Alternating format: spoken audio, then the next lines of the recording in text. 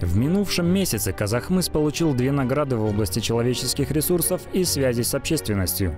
Операционная HR-система Казахмыса была признана лучшей по итогам HR-аудита среди компаний Казахстана, России и Китая. HR-аудит прошел в рамках Международного HR-саммита 2014, организатором которого стал Фонд национального благосостояния Самру-Казана. В этом году в аудите приняли участие 129 компаний, из которых 83 из Казахстана. Другая награда была вручена компании за корпоративные теленовости. Проект «Казахмыс ТВ» удостоился специального приза седьмого национального конкурса на лучшее корпоративное издание в рамках 10-го пиар-форума.